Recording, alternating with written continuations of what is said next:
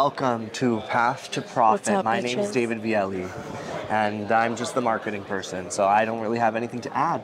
How about yourself, I literally have zero things to add. I'm just testing out the mic. Hello, hello. Testing one, two, That's three. great. Wow. Hello. Just walk in front of me like Sorry, that. sorry. The f- do you think this is?